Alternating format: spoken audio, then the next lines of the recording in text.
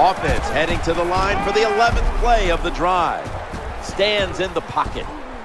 Getting away from the pressure. Working that left side.